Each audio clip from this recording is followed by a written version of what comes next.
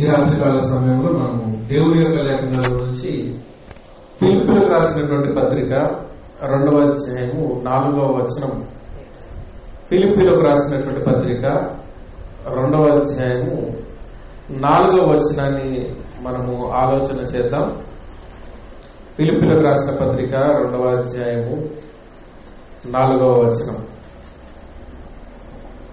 నాలుగవ వచనంలో మీలో ప్రతి వాడును తన సొంత కార్యములను మాత్రమే కాక ఇతరుల కార్యములను కూడా చూడవలను. క్రీస్తు యేసులకు కలిగిన ఈ మనస్సు మీరును కలిగి ఉండి ఫిలిపిలకు రాసిన పత్రిక రెండవ అధ్యాయము నాలుగో వచనంలో ఏమని మాట్లాడుతున్నాడంటే మీరు మీ సొంత కార్యములను మాత్రమే కాకుండా ఇతరుల కార్యములను కూడా చూడండి. ఇది ఎవరి మనస్సు అంటే క్రీస్తు కలిగినటువంటి మనస్సు. క్రీస్తు కలిగినటువంటి మనస్సు ఏంటంటే ఇతరుల కార్యములను చేయటం. సొంత కార్యములను మాత్రమే కాకుండా ఇతరుల కార్యములను చేయటం అనేది క్రీస్తుకు కలిగినటువంటి మనస్సు. ఆ మనస్సును మీరు కలిగి ఉండండి అనేటువంటి విషయాల గురించి చెప్తున్నాడు జాగ్రత్తగా ఆలోచించండి. ఈ భూమి మీద బ్రతుకుతున్నటువంటి ప్రతి మనిషి కూడా ఇక్కడ రాయబడినట్టుగా ప్రతి వాడును దేనికోసం ఆలోచిస్తున్నాడు? సొంత కార్యములను జరుపుకోవటానికి ఆలోచిస్తున్నాడు. సహజంగా మనం కూడా మనకంటూ ఉన్నటువంటి వారాన్ని మనం ఆలోచించామనుకోండి దేవుని కార్యం కొరకు మనం ఎంత ఆలోచించాం? మన సొంత కార్యముల కొరకు ఎంత సమయాన్ని వెచ్చించాం? ఆలోచించండి. దేవుని కార్యములకు మనం ఇచ్చిన సమయం ఎంత? సొంత కార్యములకు ఇచ్చినటువంటి సమయం ఎంత? అనంటే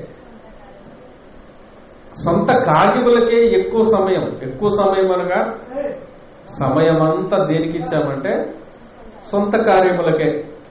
అంటే పుట్టినప్పటి నుండి ఈ లోకంలో మరణించేంత వరకు కూడా ప్రతి మనిషి కూడా తన సొంత కార్యములు అనగా తనకి ఏదైతే స్వప్రయోజనం కలుగుతుందో ప్రయోజనం కూడా కాదు.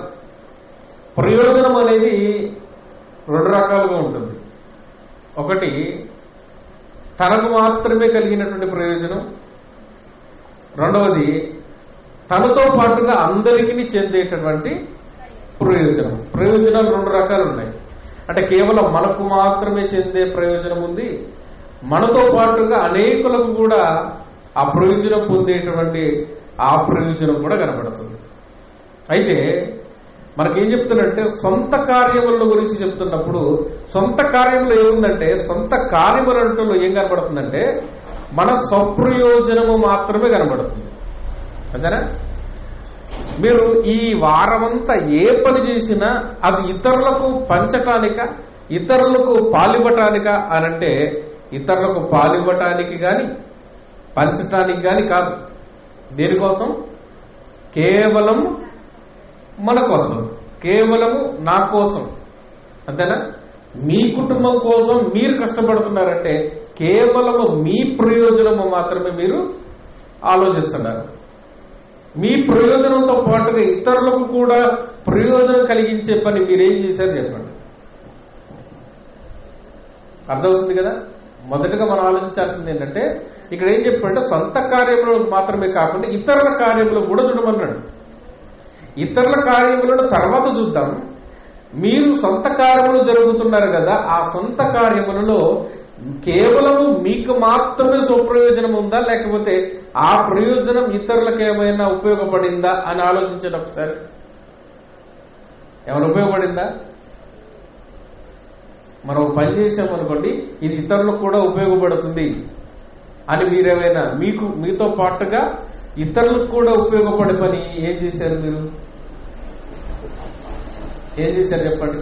ఈ వారంలో ఒక పని నాకు మాత్రమే కాదు ఇతరులకు కూడా ఈ పని ఉపయోగపడుతుంది అన్నప్పుడు ఈ వారంలో ఏం చేశారు?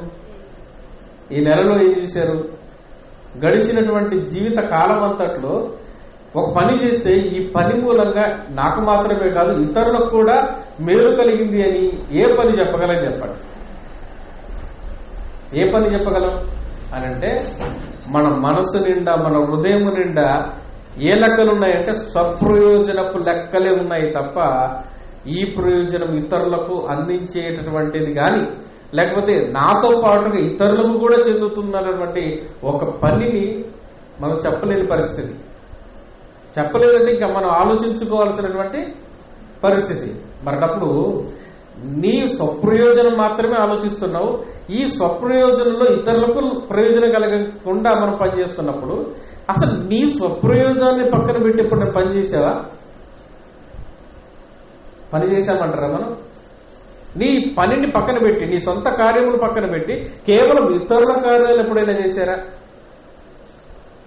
అంటే ఏ పని చేసినా మనం ఎలా చేస్తామంటే ఖచ్చితంగా అందులో మనకు ప్రయోజనం ఉండాలి. అత్యధికంగా మనకు మాత్రమే ప్రయోజనం ఉండాలి. లోకంలో ఉన్నటువంటి వాళ్ళందరూ కూడా ఏ విధంగా పని చేస్తారు వాళ్ళు? ఈ పని మూలంగా మాకు మాత్రమే ప్రయోజనం కలగాలి అన్నటువంటి ఉద్దేశంతోనే ప్రతి వ్యక్తి కష్టపడుతున్నాడు. అలాంటప్పుడు మనల్ని మనం ఆలోచించుకున్నాం అనుకోండి జీవితకాలం అంతట్లో. మన గురించి ఒక పని విషయంలో ఈ ప్రయోజనం అందరికీ చెందింది. ఈ పని మూలంగా అందరికీ ఏం కలిగింది? మేలు కలిగింది అని చెప్పగలిగే ఒక పని. ఒక పని. మీరు ఇంటికి వెళ్ళాక ఆలోచించండి. ఒకటైనా చేశానా నేను ఈ పని మూలంగా అందరికీ ప్రయోజనం కలిగింది. నాతో పాటుగా అందరికీ ప్రయోజనం కలిగింది. అన్న పనిని నేను ఏదైనా చేశానా లేదా అని మీరు ఆలోచించారు. అందులో ఏమంటున్నాడు అక్కడ? మీ సొంత కార్యములను మాత్రమే కాకుండా ఇతరుల కార్యములను కూడా మీరు చూడాలి. ఇది ఎవరి మనస్సు? క్రీస్తు యేసునకు కలిగినటువంటి మనస్సు. ఇంకా క్రీస్తు యేసునకు కలిగినటువంటి మనస్సు మనకు పరిపూర్ణం కలిగింది అనుకోండి ఆయన సొంత కార్యములను కాదు. ఏ కార్యం చూశాడు? ఇతరుల కార్యములు చూశాడు. మరి ఇప్పుడు క్రీస్తును అనుసరిస్తున్నటువంటి మనము ఇతర కార్యములను పక్కన పెట్టండి. అక్కడ దాకా వెళ్ళడం పక్కన పెట్టండి. మీతో పాటుగా అందరికీ ప్రయోజనకరమైన పనిని మనం ఏం చేశాము అనేది మనం ఆలోచన చేయాలి? అందుకోసమే ఈ ఇరవై ఒకటో వచనంలో కూడా మళ్ళీ జ్ఞాపకం చేస్తున్నాడు చూడండి ఏమంటున్నాడు? ఇరవై ఒకటో వచనం. ఇరవై ఒకటో వచనం. అక్కడేమో ప్రతివాడు అన్నాడు. అక్కడేమన్నాడు? ప్రతివాడు. అంటే ఎవరు ఏం చేసినా సరే చిన్న పిల్లలు మొదలుకొని ఉదాహరణకి చిన్నపిల్లల్ని స్కూల్కి పంపిస్తాం. హాస్టల్లో పెడతాం. పెట్టినప్పుడు వాడి కోసం ఏమైనా సరే వాడు తినటానికి తీసుకెళ్ళాం. మనం ఏం చెప్తాం తెలుసా? వరే నువ్వు దాచుకొని ఎవరికి ఇవ్వకుండా తిను. ఏం చేయి? తాళం వేసుకో. ఏం చేయాలి? తాళం వేసుకొని ఎవ్వరికి ఇవ్వకుండా తిను. ఎప్పుడు ప్రారంభించాం ఈ లెక్క? చిన్ననాటి నుండే. చిన్ననాటి నుండే. చూడండి ఇంట్లో నుంచి ఎన్నోసార్లు ఎ- ఎక్కడ వేసుకెళ్తారంటే పిల్లలు చిన్నపిల్లలు షర్ట్లో షర్ట్ జేబులో కానీ లేదంటే లాగులు చిన్నప్పుడు లాగులే ఉంటాయి కాబట్టి అందులో వేసుకుని వెళ్తారు. ఎవరికైనా ఇస్తారు వాళ్ళు? ఇవ్వరు. అంటే వాళ్ళకి ఏ లే- ఏ లెక్క నేర్పారు మీరు? స్వప్రయోజనపు లెక్క. ఎప్పుడైనా చెప్పారా? ఎప్పుడైనా చెప్పారా? నాయన? నీతో పాటుగా ఎవడైనా దాన్ని చూసి వాడు కూడా కావాలన్న ఆశ వాడి మనసులో ఉందేమో నీకు కలిగినది అందరికి పంచి తిను. ఎంతో ఆనందం ఉంటుందిరా. ఎప్పుడేం చెప్పారా? ఎప్పుడేం చెప్పామా మనం? అంటే ఎంత స్వార్థపరులు చూసారా మనం తినే తిండి. పిల్లలందరూ సమానులే కదా. అందరూ సమానులే కదా. అందరూ కూడా తల్లిదండ్రులు దగ్గర లేనివారే కదా పెట్టడానికి. అన్నప్పుడు వీళ్ళందరూ కూడా నాలాంటి పిల్లలు లాంటి పిల్లలే అని అనుకుంటే మనం ఏం చేస్తామండి? ఏం చేస్తాం? నా పిల్ నా పిల్లవాడు తింటే వాడికి ఆనందం ఏ విధంగా అయితే కలుగుతుందో ఈ విధంగా అనేక మంది పిల్లలు ఎవరైతే ఉన్నారో వాళ్ళు కూడా తింటే వాళ్ళ అమ్మకు బదులుగా ఎవరు గుర్తు రావాలి? మనం గుర్తొస్తాం కదా. అమ్మ అమ్మ ప్రేమ ఏంటి? అమ్మ ప్రేమ ఏంటి? అని అంటే తను ముందు పిల్లలు తిన్న తర్వాతే తాను తినాలనుకుంటుంది. అవసరమైతే తనది కూడా ఇవ్వాలనుకుంటుంది కదా.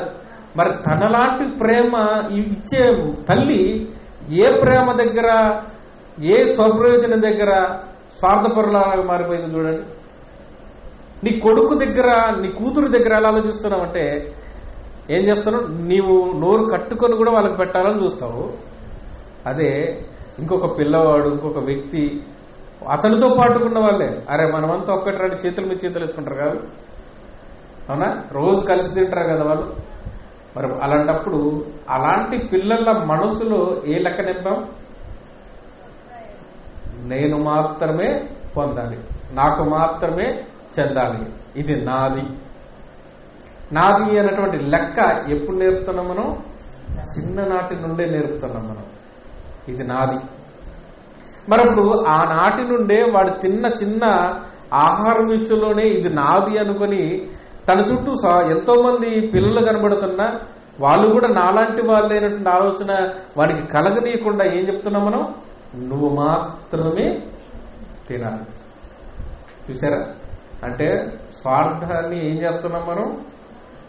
కింటాల్ లెక్కన టన్నుల లెక్క నేర్పుతున్నాం మనం.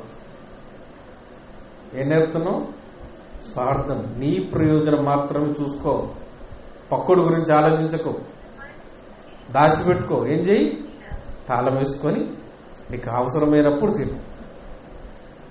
అంటే వాడికి అప్పుడు ఏం చెప్పావంటే నీదిరా ఇది ఇది నీకు మాత్రమే సొంతం ఇంకొకరికి చెందకూడదు. కాబట్టి నువ్వేం చేయాలి దీన్ని భద్రపరుచుకో. ఎవరికి తెలియకుండా దాచుకో. నువ్వు మాత్రమే అనుభవించు. ఎప్పుడు నేర్పం అది? చిన్ననాటి నుండి. అందుకోసమే ప్రతి వాడు అలాగే ఉన్నాడు చూడండి. ఇది ఎలా వచ్చింది మనిషికి అంటే చిన్నప్పటి నుంచి నేర్చుకున్నది ఇదే. అందుకని చిన్నప్పటి నుంచి ఏం నేర్చుకున్నాం మనం? ఇదే నేర్చుకున్నాం గనక ఇదే నేర్పారు గనక ప్రతి వాడు కూడా ఏం చేస్తున్నాడు? తన సొంత కార్యములు అంటే వెనకకు తిరిగి చూస్తే మనకేం కలుగుతుంది తెలుసా? మన కోసం మనం బ్రతికిన బ్రతుకు మన కోసం తిన్న తిండి మన కోసం పడినటువంటి కష్టం మనకెప్పటికీ ఆనందాన్ని మిగల్చదు గుర్తుపెట్టుకోండి. మిగల్చదు ఎప్పటికీ కూడా నువ్వు ఎంత పోగు చేసినా నీకు ఆనందాన్ని ఇవ్వదు. కానీ నువ్వు కోల్పోయి ఇతరులకు ఇచ్చి చూడు. నువ్వు అవసరమైతే నీతో పాటు ఉన్నటువంటి వ్యక్తికి నీకున్నది మొత్తం ఇచ్చి నువ్వు ఆ వ్యక్తిని తృప్తిపరచు ఇచ్చి చూడు చేసి చూడు. ఖచ్చితంగా నీకు జీవితంలో ఎప్పటికైనా తృప్తి వస్తుంది. నువ్వు గుర్తుపెట్టుకోవడం కాదు అతనే గుర్తుపెట్టుకుంటాడు. అతనే గుర్తుపెట్టుకుంటాడు. నా జీవితంలో జరిగినటువంటి ఒక సంఘటన చెప్తాను. ఏంటిదంటే నేను కాలేజీ అయిపోయింది మాకు అప్పుడే పీజీ అయిపోయింది. ఒక రెండు సంవత్సరాలు కలిసి నాతో పాటు చదువుకున్నాడు ఒక అబ్బాయి. వెంటనే నాకు ఒక ఉద్యోగం అనేది మాకు తెలిసిన వాళ్ళు ఉంటే చూపించారు అయితే అక్కడ ఖచ్చితంగా హిందీ అనేది రావాలి. రావాలి అన్నప్పుడు నేనేమనుకున్నానంటే నాకు హిందీ రాదు కాబట్టి నా స్నేహితుడికి హిందీ వస్తుందని ఏం చేశానంటే అతన్ని పిలిపించాను. ఎక్కడున్నాడు? ఇంటికి వెళ్ళాడు కరీంనగర్. ఇలా పలానా ఉద్యోగం ఉందంటే వాడు ఏదో చూద్దాంలే అన్నట్టు వచ్చాడు. అలా వచ్చిన తర్వాత ఆ కరీంనగర్లో ఎక్కువ మందికి ఏమొస్తుంది? హిందీ సులువుగా వచ్చేస్తారు వెంటనే ఆ ఉద్యోగంలో తాను జాయిన్ అయ్యాడు ఎప్పుడు మాట అంటే రెండు వేల ఎనిమిది జూన్. మేలో అయిపోయిన ఎగ్జామ్స్ నెక్స్ట్ మంత్ ఇంకా రిజల్ట్ కూడా రాలేదు. వెంటనే జాయిన్ అయిపోయాడు. ఆ తర్వాత నేను నా లైఫ్ స్టైల్ అనేది మారిపోయింది. నేను ఎప్పటి నుంచి సేవ చేయడం మారి- ప్రారంభించానంటే రెండు వేల పది నుంచే. జస్ట్ రెండు సంవత్సరాలు. నా చదువు అయిపోయినా రెండు సంవత్సరాలకే నేను సేవ చేయడం ప్రారంభించాను. రెండు వేల పది. రెండు వేల తొమ్మిదిలో సెప్టెంబర్లో మా నాన్న చనిపోయాడు. చనిపోయిన అనంతరం నెక్స్ట్ మంత్ నుంచి నేను సేవ చేయడం ప్రారంభించాను. అక్కడి నుంచి ప్రారంభించి ఇక అప్పటికి నాకు ఫోన్ కూడా లేదు. ఇక స్నేహితులు వీళ్ళు ఎవరైతే ఉన్నారో అందరికీ దూరం అయిపోయాను. అలా ఎన్ని సంవత్సరాలు గడిచిపోయిందంటే దాదాపుగా పన్నెండు పద్నాలుగు సంవత్సరాలు గడిచిపోయింది. రెండు వేల పంతొమ్మిది అనుకుంటా. పంతొమ్మిది అంటే ఇంకెన్ని సంవత్సరాలు చూడండి. రెండు వేల ఎనిమిది నుంచి పంతొమ్మిది అంటే పదకొండు పన్నెండు సంవత్సరాలు దాటిపోయింది. తర్వాత ఒకరోజు ఆ స్నేహితుడు ఫోన్ చేశాడు. ఎలా చేశాడంటే ఆ స్నేహితుడు నా ఇంటి పేరు మాత్రమే తెలుసు తనకి నా ఊరు తెలుసు. మిరియాలు కూడా తెలుసు నా ఇంటి పేరు తెలుసు. అంతకు మించి అతనికి ఏ వివరాలు తెలియదు అప్పుడు అతను ఏం చేశాడంటే ఫేస్బుక్లో కానీ ఇట్లాంటి వాటిల్లో ఉన్నాడేమో అనే ఉద్దేశంతో వెతుకుతూ ఉన్నాడు. వెతుకుతూ వెతుకుతూ మిరియాలు కూడా సర్కిల్లో ఈ ఇంటి పేరు మీద ఎవరైనా ఉన్నారేమో అని వెతికినప్పుడు ఒక అబ్బాయి తారసపడ్డాడు. ఆ వ్యక్తి తారసపడ్డ తర్వాత ఆ వ్యక్తిని అడిగాడు ఈ పలానా నామ రాజశేఖర్ అనే ఒక వ్యక్తి ఉన్నాడు మీకు తెలుసా? అని అడిగాడు. వాళ్ళు ఏం చేశారు? నాకు ఫోన్ చేశారు. వాళ్ళెవరు కాదు. వాళ్ళెవరు కాదు. చాలా దగ్గర రిలేషన్ వాళ్ళు. మా సొంత ఊరు ఊర్లో ఉన్నటువంటి పిల్లలు ఇవాళ వద్దా అన్నట్టు ఉద్దేశంతో వాళ్ళు చేశారు ఫోన్. ఇలా నెంబర్ అడుగుతున్నాడు ఇలా పేరు అడుగుతున్నాడు ఇవాళ వద్దా అంటే ఇవ్వమని చెప్పాను అప్పుడు పన్నెండు పద్నాలుగు సంవత్సరాల తర్వాత ఫోన్ చేశాడు అతను. గుర్తుపెట్టుకొని. అతను అంటున్న మాట ఏంటంటే నేను ఈరోజు ఈ పొజిషన్లో ఉన్నానంటే కారణం నువ్వే. కారణం నువ్వే. నేను అసలు ఇది జాబ్ గురించి ఎక్స్పెక్టే చేయలేదు కానీ నువ్వు తీసుకొచ్చి ఈ పొజిషన్లో ఉండబట్టి ఇప్పుడు నేను ఎక్కడ ఉన్నానంటే కువైట్లో ఉన్నాను. ఒక దేశాన్ని దాటేసాడు కువైట్లో ఉన్నాడు ఇప్పుడు. అంటే నేనన్నాను ఈ గొప్పతనం నాది కాదు నీదే అన్నాను. ఎందుకంటే ఒక సహాయం చేసినందుకు పొందినందుకు ఆ వ్యక్తిని గుర్తుపెట్టుకొని మనకు అందుబాటులో లేకపోయిన వ్యక్తికి అతనికి ఒకసారి మాట్లాడాలి అన్నట్టు ఉద్దేశం నీకుంది అంటే చాలా మంది ఏం చేస్తారండి? నెంబర్ లేదు ఆ వ్యక్తి ఎవరు తెలియదు. ఏం చేస్తాం మనం? విడిచిపెట్టేస్తాం. మన మన జీవితాన్ని మనం అనుసరిస్తూ ఉంటాం. అలాంటిది ఎక్కడున్నాడో తెలియదు ఎలా ఏ నెంబర్ ఉందో తెలియదు కానీ వ్యక్తికి పట్టుకొని పద్నాలుగు సంవత్సరాల తర్వాత ఫోన్ చేశావంటే గుర్తు పెట్టుకున్నందుకు నువ్వు గొప్పవాడు అని నేను. నేను కాదు. అంటే ఒక స్వప్రయోజనం అనేది ఆలోచించకుండా చేస్తే ఆ రోజు నీ గురించి నువ్వు ఆలోచించకుండా అలా చేసావు కనుక నేను ఈ పొజిషన్లో ఉన్నాను అని నేను వెనక్కి తిరిగాను అనుకోండి ఇలాంటి చాలా ఉన్నాయి సంఘటనలు.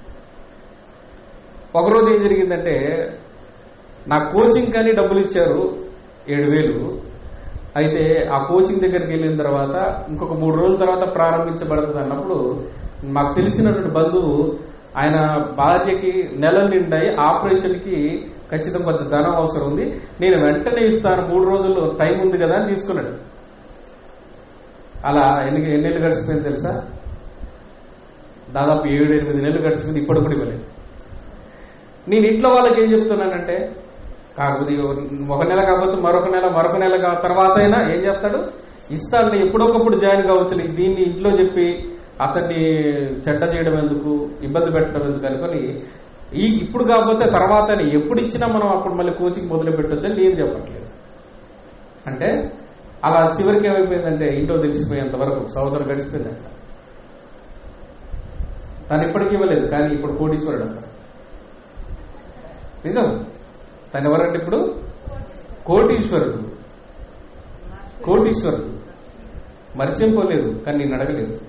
ఆయన బంధువే కానీ అడగలేదు. అంటే ఇలా వెనక్కు చూసుకుంటే నా ప్రయోజనాన్ని అంటే వాక్యమే తెలియకుండా వదిలేసినటువంటి సందర్భాలు చాలా కనబడుతున్నాయి. ఇలా ఒకటి కాదు రెండు కాదు ఇంకా చాలా ఉన్నాయి. అంటే నా లైఫ్ను కూడా రిస్క్ చేసినటువంటి సందర్భాలు కూడా కనబడుతున్నాయి. అంటే ఉదాహరణ చెప్పడానికి నాకు అలా కనబడుతున్నాయి. ఎప్పుడు క్రీస్తు లేనప్పుడే రెండు వేల పది తర్వాతే నేను ఏం వాక్యం అనేది నేర్చుకోవడం మొదలు పెట్టాను అంటే సర్వసత్యం అనేది ఇంకా పది కూడా రాలేదు నాకు. పన్నెండు నుంచి వచ్చింది. పదిలో రాలేదు. ఎప్పుడు వచ్చింది పన్నెండు నుండి రెండు వేల పన్నెండు నుండి వాక్యం అనేది ఎలా ఉంటుందనేది అది అవగాహనలోకి వచ్చింది. కానీ అంతకు ముందే ఆ అవగాహన ఎలా వచ్చిందంటే దానికి కారణం మా నాన్న మళ్ళీ. దానికి కారణం ఎవరంటే అది నాలో ఎలా అలవరచబడింది నాకు వాక్యమే తెలియదు. కానీ నేను ఇప్పుడు ఆలోచించుకున్నాను అనుకోండి ఇక మా నాన్న ఆలోచించేవరకు మన మా- నా ఊహకు అందని వ్యక్తి ఆయన. నా ఊహకు అందని విధంగా ఆయన ఉంటాడు. ఎలా స్వప్రయోజనం ఆలోచించకుండా ఇలా బ్రతుకుతారు అంటే మా ఆయనకి మేము పిల్లలమే ఆయనకున్నటువంటి సహోదరులకి పిల్లలు ఉన్నారు కానీ ఏ గ్రామంలో అయితే తనకు స్వస్థలము లేదంటే సొంత భూమి ఉందో రెండు వేల తొమ్మిదిలో ఆయన చనిపోయేటప్పుడు నాకు ఇరవై నాలుగు సంవత్సరాల వయసు. మా అన్నకి ఇరవై ఏడు సంవత్సరాల వయసు అంటే దాదాపుగా ఇరవై ఏడు సంవత్సరాలు ఆ సొంత భూమికి కౌలు తీసుకోలేదు. ఎవరికి ఇచ్చాడు నా తమ్ముళ్ళకి వాళ్ళకంతగా ఆర్థికంగా లేదు. ఎందుకంటే వాళ్ళు తెలిసి తెలియక చేసిన తప్పిద మూలంగా వాళ్ళు పొలాన్ని నమ్ముకొని ఇబ్బంది పడుతున్నారు. ఆడపిల్లలు ఉన్నారని ఇరవై ఏడు సంవత్సరాలు ఏం తీసుకోలేదు? అసలు ఆ పొలం ఉన్నట్టుగా మాకు తెలియదు. కానీ విచిత్రం ఏంటో తెలుసా? చనిపోయిన మరుక్షణ మీ హ్యాండ్ చేసుకున్నాం ఎంత స్వార్థపరం అనిపించింది నిజమే మరి. మాకు మేము తీసుకున్నప్పుడు కూడా నాకు ఎలాంటి ఫీలింగ్ వచ్చిందంటే నేను ఎంత స్వార్థపరుణ్ణి అనే ఫీలింగ్ వచ్చింది. ఆ ఇరవై ఏడు సంవత్సరాలు కూడా తీసుకోలేదంటే చూడండి. అక్కడికి మాకు అన్ని విషయాల్లో వాటా ఉంది కానీ ఇంటి స్థలం కూడా లేదు అక్కడ. అంటే ఇలాంటి క్యారెక్టర్ ఎక్కడి నుంచి అలవా అలవాటు పడ్డదంటే నాకు? మా తండ్రి నుంచి. ఆయనకు వాక్యం తెలుసో తెలియదు నాకు ఆయన చాలా సింపుల్గా మీరు ఇప్పుడు దేనికోసమైతే గొడవ పెట్టుకుంటారో దాన్ని చాలా సింపుల్గా తీసిపడేస్తారు. చాలా సింపుల్గా. ఆయన పెంచుకున్నటువంటి తల్లి ఆయన సొంత కుమారుడుగా పెంచుకున్న తర్వాత ఒకవేళ ఆమె చనిపోతే ఆమె ఆస్తి ఎవరికి చెందుతుంది? చెప్పండి. అంటే ఇరవై ఎనిమిది ఇంకా అంటే మేము పుట్టి ఇరవై ఇరవై ఆరు సంవత్సరాలు. అంతకు ముందు ఆయన పెరిగాడు. పద్నాలుగు పదిహేను సంవత్సరాలు ఎన్ని సంవత్సరాలు? ఇంచుమించుకు ముప్పై ఆరు సంవత్సరాలు పెంచిన ముప్పై ఏడు సంవత్సరాలు పెంచిన తల్లి ఆస్తి ఎవరికి చెందాలి? చివరి వరకు చూసింది ఎవరంటే మా నాన్న. చివరి క్షణంలో ఉండగా ఏం చేశారంటే ఆ మా ఎవరైతే పెంచుకున్న తల్లి యొక్క అన్నదమ్ములు భార్యలు వచ్చేసి ఇది మాకు కావాలంటే తీసుకోండి అన్నాడు. ఏమన్నాడు? తీసుకోండి అన్నాడు. అప్పుడు ఆమె ఉన్నదంటే అలా ఎలా అంటావు? వాళ్ళు అడిగితే ఇచ్చేస్తామంటే వాళ్ళు కావాలంటున్నారుగా తీసుకోమని చెప్పాడు సింపుల్గా. అంటే అంత సింపుల్గా ఎలా వదిలేయగలుగుతున్నారు అని అంటే నిజంగా ఇది ఈ స్వప్రయోజనం అనేది మనుషులు ఉంటే కనుక ఎట్లా ఆలోచిస్తారు చెప్పండి? ఇన్ని సంవత్సరాలు నేను ముప్పై ఆరు సంవత్సరాలు కొడుకున్నాను నన్ను కాదని ఎవడొస్తాడు? ఈ మాట వస్తుంది మనకి. అంటే స్వప్రయోజనము అనేది ఎంత మనిషిలో ఉందో చూడండి. ఎంత విధానంలో ఆలోచిస్తాడో చూడండి. చిన్న చిన్న విషయాలకే స్వప్రయోజనం అనేది విపరీతంగా ఆలోచించేటటువంటి మనిషి స్వభావం. అలాంటప్పుడు ఏ కార్యాలు చూడాలి? ఈ ఈ స్వప్రయోజనం అనే లెక్కలను విడిచిపెట్టి ఏ కార్యాలు చూడాలి? ఇతరుల కార్యములు అన్నాడు. అవునా? అంటే ముందు మన ప్రయోజనంతో ఇతరులకు కూడా ప్రయోజనం కలగాలి. ఇతరులకు కూడా ప్రయోజనం చెందాలి. అలాంటి పని ఏమైనా చేశామా? మనతో పాటుగా అందరికి ఉపయోగపడేది. ఏదైనా చేశామా? అని అంటే అది కనపడటం లేదు. అలా మన ప్రయోజనం అనుకుని ఇతరుల పని ఇతరుల ప్రయోజనం ఏదైనా కనబడుతుందంటే అది అసలే కనపడదు.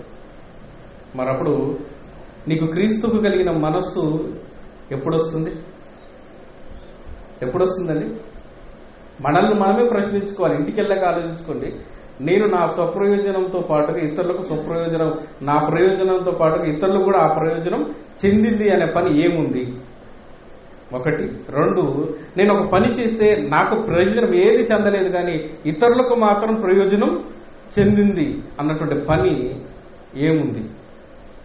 ఇక్కడే మీరు క్రీస్తు మనస్సును స్వాధీనపరుస్తున్నట్టు క్రీస్తు మనస్సులోనికి మనం వెళ్ళినట్టు. మరప్పుడు క్రీస్తుకు కలిగినటువంటి మనస్సు మనం కలిగి ఉండాలని చెప్తున్నప్పుడు మరి క్రీస్తు కలిగిన మనసు మనకు లేకపోతే ప్రయోజనం ఏముంది ఎలా ఉంటుంది తెలుసా ఆ ప్రయోజనం? ఒకసారి మార్కు వార్త ఎనిమిదో అధ్యాయము ముప్పై ఆరో వచనం. మార్కు వార్త ఎనిమిదో అధ్యాయము ముప్పై ఆరో వచనం. ఎనిమిది ముప్పై ఆరు. ఎనిమిదో అధ్యాయము ముప్పై ఆరో వచనం.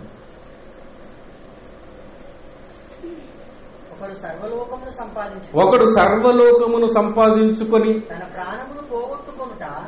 సర్వలోకమును సంపాదించుకున్నాడా? సంపాదన అయితే ఉందా? ఉంది. కానీ ఏంటి లోపం చెప్పండి? సంపాదించటం తప్పు కదా అక్కడ. ఏంటి లోపం? ఏంటి లోపం తెలుసా? కాదు. ఇప్పుడు సర్వలోకమును సంపాదించిన వాళ్ళు మనకు శతాధిపతి అయినట్టు కొర్నేలు ఉన్నాడు బాగా ధనవంతుడు అతను. బైబిల్ లేడా? భక్తిపరుడని అనిపించుకోలేదా? అతనికి సంపాదన లేదా? ఉంది. సంపాదన కలిగినటువంటి వారు ధనవంతులైనటువంటి భక్తి పరులు ఈ భూమి మీద చాలా మంది ఉన్నారు. మరి వాళ్ళు కూడా సంపాదించారు కదా అంటే సంపాదించారు. కానీ ఇక్కడ లోపం ఏంటంటే ఒకడు లోకమంతా సంపాదించుకున్నాడు. ఆ సంపాదన అంతా చూస్తే స్వప్రయోజనమే సమస్య అది. ఏముంది? సంపాదన అంతా చూస్తే ఏం కనబడుతుంది? స్వప్రయోజనం కోసమే అంటే ఇతరులకు చిన్న వాట కూడా ఇవ్వలేదన్నమాట. సంపాదించడం తప్పు కాదు. ఎవరి శక్తి మేరకు సామర్థ్యం మేరకు వారు కష్టపడితే ఖచ్చితంగా ఏం ఫలం అనేది దొరుకుతుంది. సంపాదన అనేది వస్తుంది. అవునా?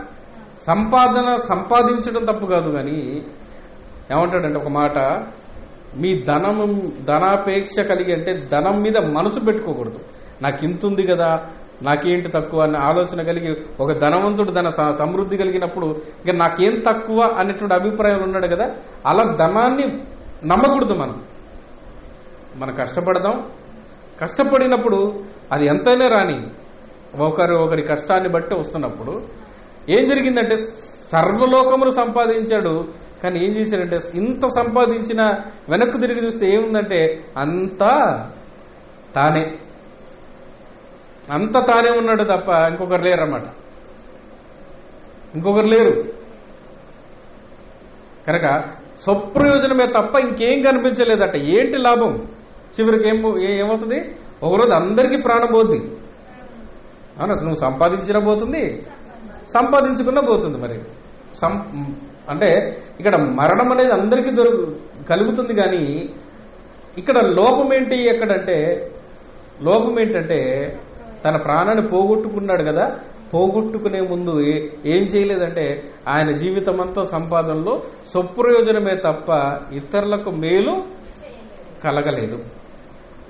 అవునా? అతని సంపాదనలో ఇతరులకు మేలు కలగలేదు. తనలాంటి ప్రయోజనం ఇతరులకు కూడా కలగలేదు. కనుకే చివరికి ఏం పోగొట్టుకున్నాడట? తన ప్రాణమును పోగొట్టుకుని ఎడల ఏంటి ప్రయోజనం అన్నాడు ప్రయోజనం గురించే మాట్లాడుతున్నాడు ఇక్కడ.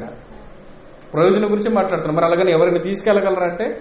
ఎవరు తీసుకెళ్ళలేరు కదా మనది? మనది అనుకున్నది. మనం తీసుకెళ్ళలేడు నాది అనుకున్నవాడు ఎవడు కూడా తీసుకెళ్ళలేనప్పుడు ఇక్కడ ఎక్కడ లోపం కనబడుతుందంటే స్వప్రయోజనాన్ని ఆశించి మనిషి బ్రతికే ఆలోచన విధానం. ఎంత భయంకరంగా ఉందో ఆలోచించండి. ఎంత భయంకరంగా ఉందో ఆలోచించండి. ఈ స్వప్రయోజనమే మనిషిని ఏం చేస్తుందంటే క్రీస్తు మనస్సును అర్థం చేసుకోలేకుండా స్వార్థపరులుగా మార్చేస్తుంది. అందుకోసం మీరు ప్రేమ యొక్క లక్షణాలు మీరు చదువుతున్నప్పుడు ఒక మాట ఉంటుంది దాంట్లో. ఇక్కడ రాశారా లేదా? కాదు ఇంకొక మాట ఉంటుంది దాంట్లో. ఉందా ఉందారా రైట్ ఏముంది చెప్పండి? ప్రేమ అంటే ఏముంది? ప్రేమ ఉంది ప్రేమ అర్థం ఏంటి తెలుసా? స్వప్రయోజనమును ఆశించి ప్రేమ పనిచేయదు. ప్రేమ ఎలా పనిచేస్తుంది? స్వప్రయోజనం ఆశించి కాదు. అందరికీ ప్రయోజనకరమైనది ఆశించి పని చేస్తేనే అది ఏంటిదట ప్రేమ. మరి స్వప్రయోజనం ఆశిస్తే మీ దగ్గర ప్రేమ ఏది చెప్పండి? మీరు చెప్పడానికి ఏముంది చెప్పండి? ఎంత విచిత్రం అంటే స్వప్రయోజనం కాకుండా ఇతరులకు కూడా ప్రయోజనకరమైన చేసామనుకోండి డబ్బాల మీద డబ్బాలు కొడతాం మనం ఇక. తెలుసా మీకు అదే? దాని టీవీలో రావాలి పబ్లిసిటీ కావాలి ప్రజలందరూ మాట్లాడుకోవాలి. ఇలా చేస్తాం మనం. ఏడిది? మనతో పాటు ఇతరులు కూడా ప్రయోజనం కలుగుతుందని పని చేస్తే. ఎవరు చెప్పకపోయినా అడగకపోయినా చెప్తాం మనం. ఆ పని. ఇలా చేసాం అలా చేసాం ఇలా మేలు కలిగింది అందరికీ అని. అంటే అలా చెప్పుకుంటాం మనం. ఏదైనా పని అందరికీ ప్రయోజనకరం. నీ స్వప్రయోజనాన్ని దాటి ఎప్పుడు పని చేస్తే అలా చెప్పుకుంటుంటాం మనం. అక్కడ ఏం కనబడుతుందంటే ఆ స్వప్రయోజనం మాత్రమే కాదు ఇతరులకు ప్రయోజనం మాత్రమే కాదు. ఇంకేమని చెప్తున్నాడు? ఇతరుల కార్యాలే చూడమంటున్నాడు ఇంకా. నీ ప్రయోజనాన్ని ఆశించకుండా ఏం చేయమన్నాడు? ఇతరుల కార్యములు చూడమంటే అక్కడ ఏమంటున్నాడు? ప్రేమ స్వప్రయోజనమును ఆశించదట. స్వప్రయోజనమును ఆశించదు. అంటే ఇప్పుడు స్వప్రయోజనమే ఆశించి బతుకుతున్నాం మనం ఎందులోకి రావాలి? స్వప్రయోజనమే ఆశించకుండా బ్రతికే జీవితంలోనికి వస్తే అప్పుడు నీలో ఏ మనసు వచ్చేసింది?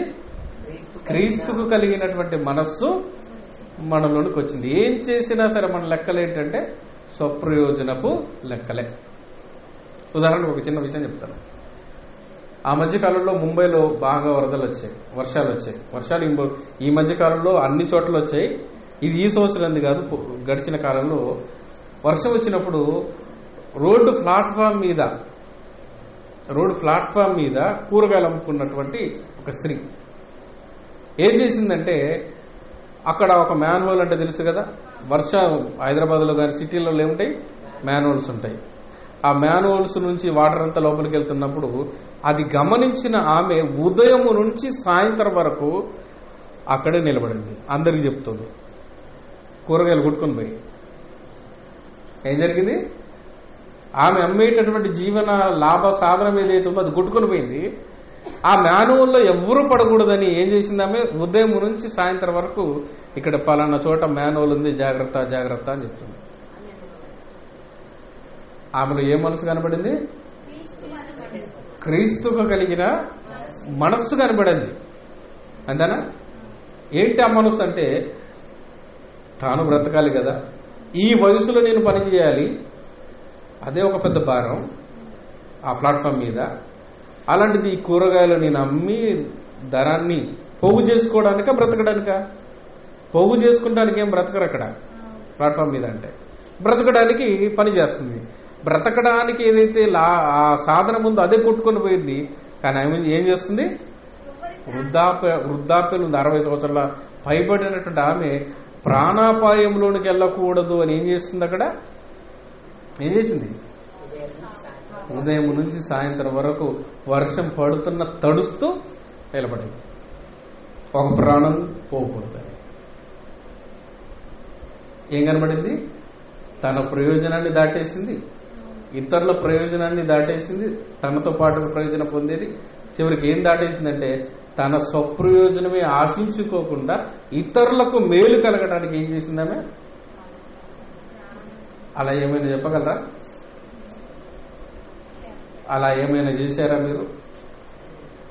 అవునా? ఆమె క్రీస్తుని నమ్మిందో తెలీదు? నమ్మలేదో తెలీదు. క్రీస్తు తెలుసో తెలీదు? తెలియదో తెలియదు కానీ ఆమెలు ఎవరు కనబడుతున్నారు? క్రీస్తుకు కలిగిన మనస్సు.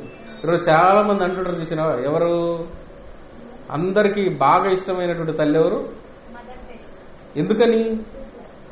క్రీస్తు ఏముంది చెప్పండి ఆమెకి? స్వప్రయోజనం ఉందా తనది కాని దేశాన్ని విడిచిపెట్టేసి ఇక్కడికి వచ్చి అవునా? ఇక్కడ ఎవరిని బాగోగులు చూసుకుంది అనాథలను. అవునా?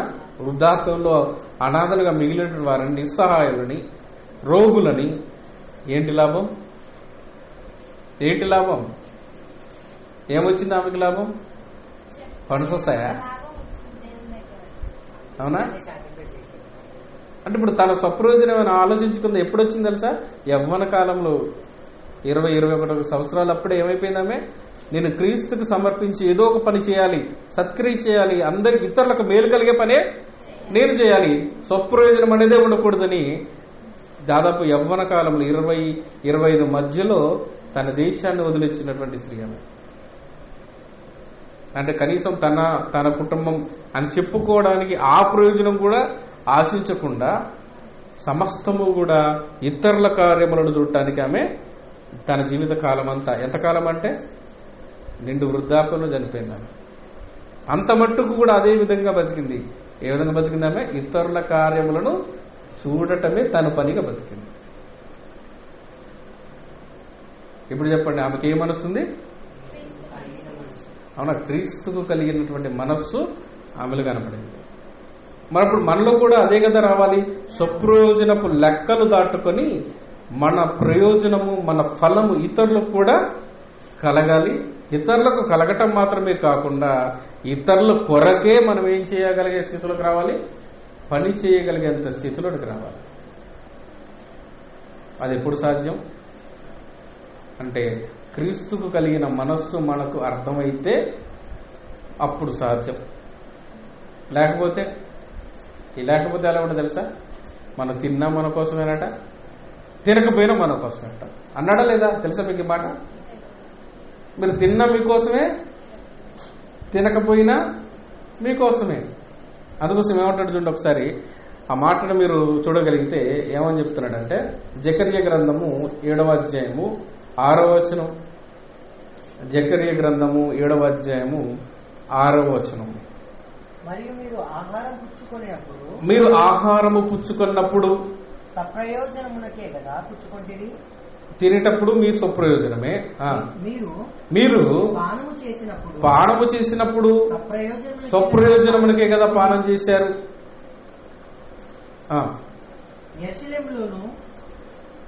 ఏం చెప్తున్నాడు అక్కడ? తీసారా మీరు? ఇంకా తీయలేదు. ఏడు వందల డెబ్బై తొమ్మిది ఏడు వందల డెబ్బై తొమ్మిది ఏమని చెప్తున్నాడు అక్కడ? మరొకసారి చూడండి. మీరు చదవాలా మాట? చూడాలా మాట?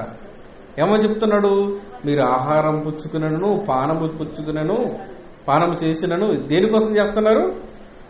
స్వప్రయోజనముకే చేస్తున్నారట. అంటే ఇప్పుడు మనం ఏం చేసినా దేనికోసం చేస్తున్నాం? అంటే మనిషి మనగడే దేనికోసమట? స్వప్రయోజనమైతుంది. అంటే ఇది ఎవరి దగ్గరకు వచ్చి? దేవుని దగ్గరికి వచ్చినా మనం ఏమడుగుతాం దేనికోసం అడుగుతాం? అని అంటే ఎంత స్వార్థపరులం అని అంటే దేవుని దగ్గరకు వచ్చినట్టు మనము కూడా దేవుడు ఇచ్చేది కదా దేవుడు ఎంత ఇవ్వగలడు కదా? ఏదైనా చేయగలడు కదా? మరి గప్పుడు నువ్వేం ఇవ్వట్లే కదా? మరి దేవుడి దగ్గరికి వచ్చినప్పుడు దేవుడు అందరికీ ధారాళంగా దయచేవాడు దేవుడు అయినప్పుడు మరి దేవుడిని అడుగుతున్నప్పుడు కూడా మనకి ఏ లెక్కలు ఉన్నాయి చూసారా? అది ఇక్కడ పాయింట్. ధారాళంగా ఇవ్వగలిగిన దేవునికి ప్రార్థన చేస్తున్న వారు కూడా ఏం చేస్తున్నారు? స్వప్రయోజనము నిమిత్తమే విచారించి దేవుని అడుగుతున్నారు. అందుకోసమే ఆ మాట రాస్తున్నాడు. మీరు తిన్నా మీకోసమే తినకపోయినా మీకోసమే ఏం చేసినా మీరు మీకోసమే చేస్తున్నారు. అందుకోసమే ఆ ఐదో వచ్చుల పైన అంటాడు మీరు నా యందు భయభక్తులు కలిగి ఉపవాసం ఉన్నారా? కాదు. ఈ మాట ఎందుకు రాస్తున్నాడు? ఉపవాసం ఎందుకుంటున్నారు స్వప్రయోజనం. మనకేదో ప్రయోజనం మనకే ప్రయోజనం కావాలి. మనకు ప్రయోజనం రావాలన్నా లేకపోతే అందరికీ ప్రయోజనం చెందాలన్నా. అందుకోసం మీకోసమే తిన్నారు తిన్నా మీ ప్రయోజనం కోసమే. ఉపవాసం ఉన్నారు అయినా మీరు తిండి మానేసినా మీ ప్రయోజనం కోసమే. అంటే దేవుడు ధారాళంగా ఇవ్వగలిగినను అందులో కూడా మనం నాకే ఇవ్వాలి. నాకే చెందాలి అన్నట్టుగా ఎంత స్వప్రయోజనం ఉందో చూడండి ప్రార్థనలో కూడా ఉపవాసంలో కూడా దేవుని దగ్గర వచ్చినప్పుడు ఆలోచనలో కూడా అలే కనబడుతుంది చూడండి. అందుకోసమే అంటున్నాడు ఇక్కడ. స్వప్రయోజనపు లెక్కలు మనుషులో మెండుగున్నాయి అది మార్చాలి. అది అలవాటు చేయాలి. మనం పిల్లలకు అలవాటు చేసేటప్పటి నుండే వాళ్ళలో ఈ లక్షణాలు ఈ విధంగా ఆలోచించగలిగే శక్తిని మనం కలిగి ఉండాలి. ఈ ఈ రకమైన ప్రమాదంలోనికి వాళ్ళు ఏమైనా వెళుతున్నారా అని మనం ఏం చేయగలగాలి? ఆలోచన చేయగలగాలి. పరీక్షించగలగాలి. నేను చేసే క్రియ నా కుమారుడు విషయంలో కుమార్తె విషయంలో నా కుటుంబ విషయంలో ఎలా కనబడుతుంది? ఎలా అర్థమవుతుంది? మనల్ని మనమే పరిశీలన చేయాలి. అందుకే పౌలు గారు అంటాడు ఆయన ఆయన గురించి ఆయన మాట్లాడుతూ ఉన్నాడంటే కొరితలకు రాసినటువంటి మొదటి పత్రిక పదవ అధ్యాయము. కొరితలకు రాసినటువంటి మొదటి పత్రిక పదవ అధ్యాయము. పదవ అధ్యాయము ముప్పై మూడవ వచనంలో ఇలాగ నేను కూడా పదవ అధ్యాయము తీసారా? ముప్పై మూడు. ఇలాగ నేను కూడా స్వప్రయోజనమును కోరక అనేకులు రక్షింపబడవలనని వారి ప్రయోజనము కోరుచు. అన్ని విషయములలో అందరినీ అంటే పౌలు గారు కూడా ఎలా బ్రతికాడట? స్వప్రయోజనం కోసం బ్రతకలేదు. ఇతరులకు ప్రయోజనం కలగడానికి ఆయన ఇతరులను సంతోషపరచడానికి నేను బ్రతికాను. అన్ని విషయంలో అందరూ సంతోషంగా ఉన్నట్లు నా స్వప్రయోజనము నేను ఆశించుకోవట్లేదు. చూసారా? నా స్వప్రయోజనం ఆశించి నేను బతకట్లేదు. అంటే అందుకోసం ఆయన అన్నాడు నేను నెక్స్ట్ అన్నాడు ఆ మాట. పదకొండవ ప్రారంభోత్సవంలోనే నెక్స్ట్ అన్నాడు. ఏమన్నాడు? నేను క్రీస్తును నడుచుకున్న ప్రకారం మీరు కూడా ఎంతకంత బలంగా చెప్పాడంటే క్రీస్తుకు కలిగిన మనస్సు ఆయన ఆయనకుంది గనక. స్వప్రయోజనం విచారించుకోకుండా ఇతరులకు ప్రయోజనం కలుగు నిమిత్తము అందరికీ క్షేమంగా అది జరగాలనేటువంటి ప్రయోజనము నిమిత్తమై ఆయన పనిచేశాడు గనక క్రీస్తును పోలి నడుచుకున్న ప్రకారం మీరు కూడా నన్ను పోలి నడుచుకోండి. ప్రియులైన పిల్లల వలె దేవునికి ఇష్టలైన పిల్లల వలె మనం బ్రతకాలి. అన్నప్పుడు ఏది విచారించొద్దట? అన్ని సమయములలో అన్ని కాలములలో స్వప్రయోజనమును ఆశించుకోకూడదు. ఆశించకూడదు. ఎందుకంటే మనకి ఏ ఏది ప్రయోజనకరమైనదో దేవుడు మన గురించి ఆలోచిస్తున్నప్పుడు మరణప్పుడు మనకు ప్రయోజనకరమైనది కలిగినప్పుడు ఆ ప్రయోజనం ఇతరులకు కూడా కలిగేందుకు ఏం చేయగలగాలి? మనం ఆలోచన చేయగలగాలి. అయితే ఇక్కడ మనం జాగ్రత్తగా ఆలోచన చేస్తే ఒక మాట అన్నాడు. మీరు ఇందాక ఎనిమిది ముప్పై ఆరు చూశారు కదా మార్క్స్ వార్తలో. ఇంకొక మాట కూడా ప్రయోగించాడు. ఇదే పదాన్ని లూక గారు ఇంకొక కోణంలో రాశాడు. చూద్దాం. లూకరాసిన సువార్త తొమ్మిది. లూకరాసిన సువార్త తొమ్మిదవ అధ్యాయము. లూకరాసిన సువార్త తొమ్మిదవ అధ్యాయము. ఇరవై ఐదు. ఒకడు లోకమునంతా సంపాదించి తనను తాను పోగొట్టుకొని నీడలా? ఎడల లేక నష్టపరుచుకొని ఎడల ప్రయోజనం? వానికి ఏం ప్రయోజనం? ఏమన్నాడు ఇక్కడ ఇంకొక మాట యాడ్ చేశాడు. ఏమని నష్టపరుచుకుని తన్ను తాను ఏం చేసుకుంటున్నాడు ఇప్పుడు? నష్టపరుచుకుని ఎడల వానికి ఏమి ప్రయోజనం? అంటే నష్టం అవుతుందట ఎందుకు నష్టం? ఎందుకు నష్టం అంటే ఇంత కష్టపడ్డావు కదా ఈ కష్టంలో ఇతరులకు పాలియకపోతే నీకేం కలుగుతుంది? నష్టమే. అంటే నువ్వు చెప్పుకోవడానికి దేవుని ఎదుట చెప్పడానికి ఏమి లేదంటే నీకేం కలిగింది? నష్టమే కదా. నీ కోసమే నువ్వు బ్రతికితే నీకేం కలుగుతుంది అంటే నష్టమే మిగులుతుంది అంటున్నాడు మనం అనుకుంటాం లోకపు లెక్కలు ఎలా ఉంటాయి తెలుసా? లోకపు లెక్కలు అంటే మన కోసం మనం బ్రతికి మన కోసం మనం సంపాదించుకుంటే లాభం. లాభం. నిజమేనా అది? అది కూడా అబద్ధం ఆలోచిస్తే అర్థమైంది. నువ్వు ఎకరం ఉంది పది ఎకరాలు చేసావు. అవునా? పది ఎకరాలు చేసి వెళ్ళిపోతావు కదా నీకు లాభం ఎట్లయింది? మనుషుల లెక్కలు అలానే ఉంటాయి. మనుషుల లెక్కలు ఎలా కనబడుతున్నాయి? నీ కోసం నువ్వు సంపాదించుకుంటే ఏముంటుంది? లాభం అంటుంది. అంతేనా? నీకోసం నువ్వు సంపాదించుకుంటే లాభం అంటుంది. అలాగని ఇప్పుడు అదే ఒక ఎకరం ఉండి ఎకరంతోనే చచ్చిపోయినోడికి నష్టమా? ఉందా? ఇద్దరు ఎక్కడికి వెళ్ళారు? సమాధికే వెళ్ళారు. అంతేనా? ఇద్దరు సమాధికే వెళ్ళారు. లోకం ఏముంటుంది తెలుసా? తెలియని విధంగా నీకు లాభం. అంటే నీకున్న దానిని డబల్ చేస్తే త్రిబుల్ చేస్తే ఏముంటుంది? సంపాదిస్తే ఏముంటుంది? లాభం ఉంటుంది. దేవుడు అంటాడు తెలుసా? నీ కోసమే సంపాదించుకుంటే అదేంటిది? నష్టం. నువ్వు నష్టాన్ని సంపాదించుకుంటావు లాభం కాదు. అంటే సప్రయోజనం ఏం కనబడుతుంది నష్టం కనబడింది కనుక నష్టము నష్టం ఉంది అందుకోసం మీరు ఇదే లుకస్ వార్తలో ఆ ధనవంతుడి గురించి రాస్తున్న ప్రతి సందర్భంలో ఏమని రాస్తుంది సార్ నా కోట్లు నా నా ధనము నా ఆస్తి నా ప్రాణముతో. అంతా ఏముంది ఆయన జీవితంలో? సప్రయోజనమే తప్ప ఇతరులకు ఇంత పండింది కదా లేని వాళ్ళకు పంచుదాము సహాయం చేద్దామని లేదు. దీన్ని కోట్లు విప్పి పెద్ద చేసుకొని ఎందుకోసం ఇది? నా ప్రాణమా? తిను త్రాగు సుఖించు. నానే నా కోట్లు విప్పి. అంటే నా తప్ప ఏమీ లేదు. ఇంత సంపాదించాడు కదా. దేవుడు ఏమన్నాడు అతన్ని? వెర్రివాడా? నీకు నష్టం వచ్చిందిరా బాబు అన్నాడు. దేవుడు ఏమంటాడు నీకు నష్టం కలిగింది. నీ కోసం నువ్వు సంపాదించుకున్న సమస్తం నీకేం కలుగుతుంది? నష్టం. నష్టం కలిగింది. లాభం కలగాలంటే పాలివ్వాల్సిందే. అందరా ఇతరుల ప్రయోజనం కూడా ఆలోచించాల్సిందే. అవసరమైతే నీ స్వప్రయోజనాన్ని కూడా పక్కన పెట్టి ఇవ్వాల్సిందే. వద్దు. చాలా సమయం అయింది అయితే వాస్తవానికి నేను ఇదంతా ఎందుకు చెప్తున్నానంటే కంటిన్యూ ఇదంతా ఎందుకు చెప్తున్నానంటే స్వప్రయోజనములు విచారించుకొనక పాత నిబంధనల్లో ఒక వ్యక్తి కనబడతాడు వండర్ఫుల్గా మనందరికీ తెలిసిన వ్యక్తి. ఆయన గురించి లోతుగా పరిశీలిస్తేనే తెలుస్తుంది. ఎవరైనా? ఆయన గురించి లోతుగా పరిశీలిస్తేనే అర్థమవుతుంది. ఎవరైనా? లోతే. లోతే. ఏడు తెలుసా? అబ్రహాము నుండి తాను వేరైనప్పుడు ఎలాంటి స్థితి ఉందో తెలుసా? వాళ్ళకు వాళ్ళు నివసించినటువంటి ఆ భూభాగము వాళ్ళు కలిగి ఉన్న సంపద భరించలేకపోయిందట భూమి. భూమి భరించలేకపోవడం అంటే ఒక ఆటోలో పది మంది పడతారు ముప్పై మందిని కుక్కితే ఎట్లుంటది? భరించలేకపోవడం అది. అలా వీరి యొక్క ఆస్తి పశు సంపద భూమి ఏం చేయలేకపోయింది? భరించలేకపోయింది. ఎందుకు వేరే అని అంటే అంత విస్తారమైనటువంటి ఆస్తి అబ్రహం గారికి లోతు గారికి ఉంది.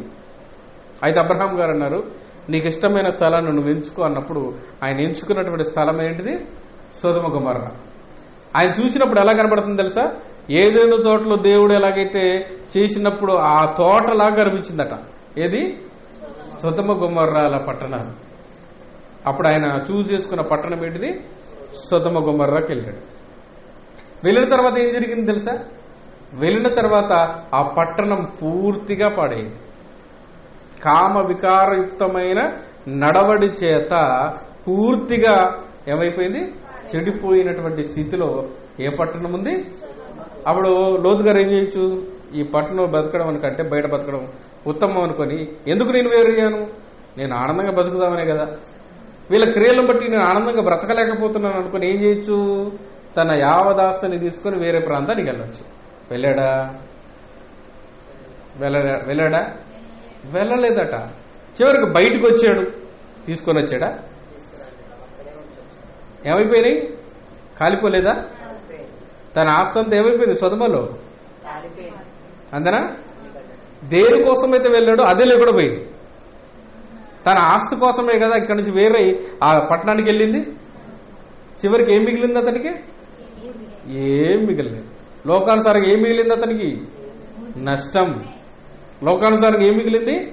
నష్టమే మిగిలింది. ఎందుకంటే ఆ తాను సంపాదించుకున్నది కూడా తిరిగి బయటికి తీసుకురాలేకపోయాడు అతను. ఆ పట్టణం కాలిపోతుంటే. అప్పుడు లోకానుసారం ఏం కలిగింది అతనికి? ఎందుకే వేరే అనవసరంగా? లేదా అక్కడి నుంచి బయటకు వచ్చేసిన బాగుడు అలా క్రియలు బాగున్నప్పుడు ఆ దేశం బాగాలేనప్పుడు ఏం చేయొచ్చు నువ్వు? బయటకు వచ్చి ఇంకొక దేశంలో బతకొచ్చు కదా నువ్వు? లేదా అబ్రహం దగ్గరికే మళ్ళీ రావచ్చు కదా నువ్వు? ఎందుకు అక్కడే ఉన్నావు? ఏమొచ్చింది నీకు అక్కడ ఏం ఏం కలిగింది నీకంటే? ఆయన ఏమంటాడు తెలుసా? నేను నా స్వప్రయోజనం ఆశించుకోలేదు ఆ పరిస్థితుల గుండా నేను వెళ్ళినప్పుడు నా స్వప్రయోజనాన్ని నేను విడిచిపెట్టేశానంట. ఏది మర్చిపోయాడు ఆయన? స్వప్రయోజనాన్ని మర్చిపోయాడు అతను. మర్చిపోయి ఏమంటున్నాడు చూడండి ఎంత మంచి మాట రాశాడో. పేతురు రాసినటువంటి రెండవ పత్రిక. పేతురు రాసినటువంటి రెండవ పత్రిక. రెండవ పత్రిక రెండవ అధ్యాయము ఆరు నుంచి ఏడు వచనాలు మనం చూడగలిగితే ఏడు ఎనిమిది వచనాలు చదువుదాం. మరియు ఆయన సుధమ గుమ్మర్రాలను పట్టణములను భస్మము చేసి ముందుకు భక్తిహీనులు అగువారికి అంటే ఏం చేసినట్టు దేవుడు? మునుముందు కాలంలో ఎవరైతే భక్తిహీనులుగా ఉంటారో వాళ్ళకు ఇది దృష్టాంతంగా ఉండాలి అంటే ఇదొక ఉదాహరణగా ఉండాలి అని ఏం చేశారట? వాటికి నాశనం విధించి వాటికి నాశనము విధించి దుర్మార్గుల వాళ్ళెవరట వాళ్ళంతా. నువ్వు ఒక స్థలానికి వెళ్ళావు. అక్కడ ఉన్న వాళ్ళంతా దుర్మార్గులు అని తెలిసింది అనుకోండి ఏం చేస్తాం మనం? అక్కడి నుంచి తొందరగా బయటపడాలో చూస్తాం ఆ పట్టణం బాగాలేదంటే ఆ పట్టణం ఎలాంటి వాళ్ళు? దుర్మార్గులు. ఎవరటాలు? దుర్మార్గులు. ఆ. దుర్మార్గుల కామ ఇంకెవరట? కామ వికారయుక్తమైన నడవడి కామ వికారం అంటే వికారం అంటే తెలుసు మనకి? వికారం అంటే ఏంటిది? వికారం అంటే ఏంటి తెలుసా? వికారం అంటే ఏంటి తెలుసా? మనం ఒకవేళ ఆహారం లోపలికి వెళ్ళాలి అది బయటకు వచ్చిందనుకో ఏమైపోద్ది? వికారం అవుతుంది అంతేనా? మనం తిన్నదే కానీ లోపల నుంచి బయటకు వచ్చేసరికి ఏమైపోయింది అది వికారం అయిపోయింది తినేటప్పుడు ఆనందంగా తిన్నాం లో- బయటకు వచ్చేటప్పుడు ఎంత బాగుందంటారా? ఎలా ఎలా మారిపోయింది అది నువ్వు తినినటువంటి ఆహారమే నీకు ఎలా మారింది? వికారంగా. మారింది. అంటే ఏది సభమైనదంటే స్త్రీ పురుషుడు వివాహం చేసుకోవడం దేవుడు ఏర్పరిచినటువంటి బంధం. కానీ వాళ్ళు ఏం చేశారో తెలుసా? స్త్రీ అని లేదు పురుషుడని లేదు పిల్లలని లేదు పెద్దలని లేదు. ఎవరికి పడితే ఎవరు నచ్చితే వాళ్ళు ఏ- చేస్తున్నారు? వెళ్ళిపోతున్నారట. ఇలాంటి పట్టణములో ఎవరున్నారు ఇప్పుడు? లోతు గారు ఉన్నారు కామ వికారయుక్తమైన నడవడి చేత ఎందుకైనా అంత బాధపడుతున్నావు వచ్చి హాస్టల్ బాగాలేదని కావంటే చెప్పండి. ఎందుకురా పడని తిండి అనారోగ్యం తెచ్చుకోవడం వచ్చి. ఇంటికి వచ్చి ఇక్కడ చదువుకుంది కానీ. అన్నట్టుగా మనం నో లోతున అన్నాం అనుకోండి ఆయన అలా అనుకోవట్లేదట. ఎలా బాధపడ్డాడట? ఎలా బాధపడ్డాడు? బహు బాధపడిన నీతిమంతుడు. నీతిమంతుడకు బహు బాధపడ్డాడు. ఎవరు బాధపడ్డాడు? ఎవరి కోసం? తన ఆస్తి పోయిందనా అక్కడున్న ప్రజలకు. ఇంకా విచిత్రమైన సందర్భం ఏంటంటే తనకి ఇద్దరు కుమార్తెలు ఉంటే ఆ ఇద్దరు కుమార్తెలు ఆ పట్టణంలో కన్యకలుగానే ఉన్నారు. అంటే ఒక పురుషుని ఎరగని వాళ్ళుగా పెంచాడు అతను. మరి అప్పుడు తన పిల్లలు చెడిపోలేదు కదా నేను వేరే దేశానికి వచ్చేస్తే అయిపోద్ది. ఈ దేశం నాకొద్దు. నా ఆస్తిని నా పిల్లలు తీసుకొని నేను వచ్చేస్తాను అనుకోవచ్చు కదా. కానీ ఏం చేయలేదట ఆయన? అలా అనుకోలేదు. తన పిల్లలు క్రమంగానే పెంచాడు. అయినా సరే బాధపడ్డాడు. ఎందుకు బాధపడ్డాడు? అనంటే వారి యొక్క దుర్మార్గపు నడకడు నడకలు కామ వికారయుక్తమైనటువంటి నడకలు. వాటి చేత బహు బాధపడ్డాడట. బాధపడేది ఏముంది? బయటకు వచ్చేసి అయిపోయాయి. ఇప్పుడు ఇక్కడ ఎవరైనా మీకు సిగరెట్ పడతారు అనుకోండి ఇటు సిగరెట్ తాగుతున్నారు అనుకోండి వాళ్ళు చెప్పిన ఏం లేదా ముందు చెప్తారు అయ్యా సిగరెట్ దాకంటాం చెప్పిన వినకపోతే ఏం చేస్తారు చెప్పండి? మీరే బయటకు పోతారు. అంతే కదా? వినకపోతే ఏం చేస్తారు? మీ స్వరం కాకపోతే ఏమో ఏం చేస్తారు? నేను వెళ్ళిపోతాను వెళ్ళిపోతారు మరి అలా వెళ్ళి రావచ్చు కదా ఆయన? ఏం చేశాడైనా? వెళ్ళలేదైనా? చెప్పిన చెప్పాడంటే చెప్పాడట.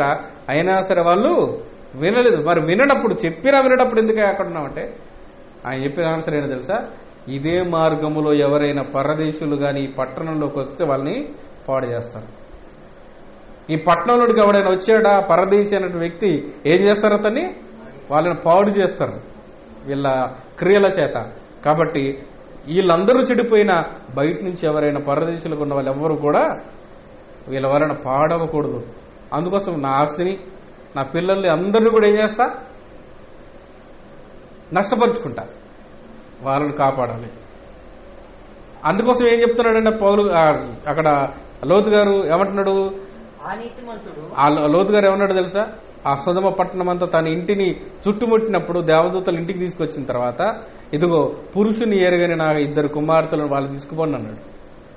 అంటే తన కుమార్తెలను కూడా వారికి అప్పగించడానికి సిద్ధపడ్డాడు కానీ పరదేశులను మాత్రం ఏం చేయలేదు? వారిని అప్పగించడానికి ఇష్టపడలేదు అంటే ఇప్పుడు ఏముందండి? సర్ప్రైజ్ ఏముంది? అంటే తన కుమార్తెను కూడా వాళ్ళకి అప్పగించడానికి సిద్ధపడ్డాడంటే స్వప్రయోజనం ఉందా లేదు. వాళ్ళను కాపాడడానికి తన కుటుంబాన్ని బలి చేస్తున్నాడు ఏంటి ఈయన? ఇది ఎక్కడ లోతండి అదే నీతిమంతుని కలిగిన క్రీస్తు మనసు అనే లోతు. అందుకోసమే ప్రేమ యొక్క లోతు అన్నడా? ఆ లోతు ఇదే. ఆ లోతు ఈయనే. అర్థమైందా? ఆ ప్రేమ స్వప్రయోజనం విచించ విచారించుకోదు అన్నాడు కదా. ఆ లోతు ఇదే. అంటున్నాడు ఇంకా కిందికి అంటున్నాడు చూడండి ఏమంటున్నాడు? ఆ నీతిమంతుడు వారి మధ్య కాపురం ఉండి ఎందుకు ఉండాలి కాపురము? నీకు సిగరెట్ పడకపోతే నువ్వు బయటికి వెళ్ళిపోతున్నావు కదా వెళ్ళిపోవచ్చు కదా ఆ పట్టణం నుంచి? ఎందుకు అక్కడ కాపురం ఉండాలి నువ్వు? నీకు పడని వాతావరణం ఉన్నప్పుడు నీకు అనుకూలత లేనప్పుడు ఎందుకు ఉండాలి అక్కడ? బయటికి వెళ్ళిపోవచ్చు కదా నీకు కలిగిన ఆస్తితో నీ కుటుంబంతో. అయినప్పటికీ ఆయన కాపురం ఉండి తాను చూచిన వాటిని బట్టి విన్న వాటిని బట్టి వారి అక్రమమైన క్రియల విషయముల దిన దినము నీతిగల తన మనస్సును నొప్పించుకొనుచు వచ్చాను. దినం ప్రతి దినం చాలా బాధపడ్డాడట ఆయన.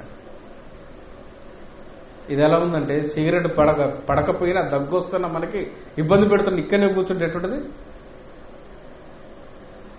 అక్కడనే కూర్చుంటే ఎట్టుంటది మనకి? ఆ వ్యక్తిని చూస్తుంటే ఎలా అనిపిస్తుందో ఇప్పుడు లోతుని చూస్తే అలా అనిపిస్తుంది. వాళ్ళు మారను తెలిసి కూడా ఎందుకు ఎక్కడ ఉన్నాం బయటికి రావచ్చు కదా. అయినా కానీ ఆయన చెబుతున్నాడు. చెప్తున్నప్పుడు వీడు పరదేశికి వచ్చి మనకే తీర్పు తెలుస్తున్నాడు అన్నారు పరదేశిగా వచ్చి మనకే తీర్పు తెలుస్తున్నాడు అని చెప్పి ఇంటి మీద దుమ్మిగా పడబోయారు. అంటే ఇతరుల మేలు కలగటానికి దేవదూతలుగా వచ్చిన వారని దేవదూతలు వారికి తెలియకపోయినా వారి మనుషులని గుర్తించినటువంటి లోతు ఈ మనుషులు వారి చేతులు పడకూడదని తన కుటుంబాన్ని వాళ్ళ చేతులు పెట్టాలనుకున్నాడంటే ఆలోచించు. మనం ఏం చేస్తాం? మన కుటుంబాన్ని కాపాడుకుంటాడు ఇతర కుటుంబాలని బలి చేస్తాం. కానీ లోతు ఏం లోతులు ఏం కనబడుతుంది? ప్రతి దినము కూడా నీతి గల తన మనస్సును నొప్పించుకొని బహు బాధపడుతున్నాడు. ఏడుస్తూ అక్కడ ఎందుకు ఉండాలి? బయటికి రావచ్చు కదా. అవునా? అంటే అక్కడికి వెళ్ళిన తర్వాత తన జీవిత కాలం అంతయు దేనికోసం బ్రతికాడు? స్వప్రయోజనం విచారించుకొనక బ్రతికాడు.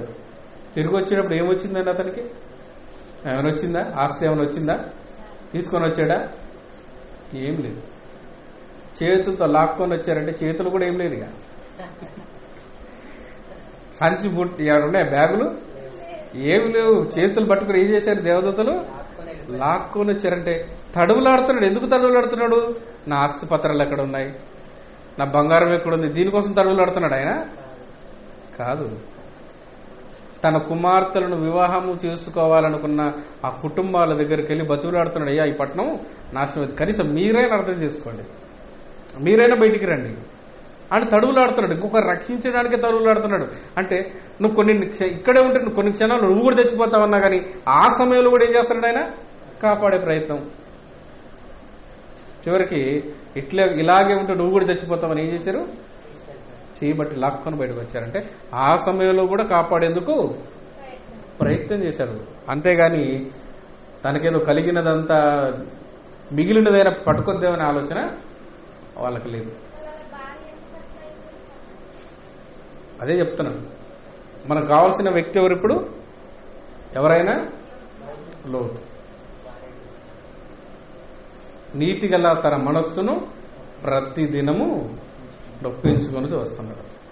అందుకోసమే ఆయనలో ఏం కనబడిందంటే సుప్రయోజనం అనేది విచారించుకోలేదు. ఇతరులను రక్షించడానికే చివరికి నష్టపోయాడు. లోకరీతిగా నష్టపోయాడు. కానీ దేవుళ్ళు సంపాదించుకున్నాడు. దేవుళ్ళు ఆయన సంపాదించుకున్నాడు. ఇదే సంపాదించుకోవడానికి పోగొట్టుకోవడానికి లోకానికి దేవునిలో ఉన్న వారికి ఉన్న వ్యత్యాసం. కనుక ఏ స్వప్రయోజనమైతే నష్టాన్ని ఆ ధనవంతుడికి తీసుకొని వచ్చిందో ఆ ధనాన్ని పోగొట్టుకున్నాడు ఉన్నది పోగొట్టుకుని లోకరీతిలో నష్టం కలిగినా తనకు మాత్రం లాభం కలిగింది లోతు గారికి. కనుక ఇక్కడ మనం అర్థం చేసుకోవాల్సిన విషయం ఏంటంటే స్వప్రయోజనమును ఆశించి మన జీవితాలు ముందుకెళ్తున్నంత కాలం మనకు నష్టము తప్ప లాభము కలగదు దేవుణ్ణిలో దేవుణ్ణిలో కలగదు. అందుకోసమే ఒకనొక ఇంటికి వెళ్ళిపోతే మనిషి మై మైండ్ సెట్ ఎలా ఉంటుందో చెప్తాను ఒకసారి. చివరికి చిన్న ఎగ్జాంపుల్ చెప్పి ముగిస్తా. ఒక ఇంటికి వెళ్ళా. కొత్త ఇల్లు కట్టారు ఒక విశ్వాసులు.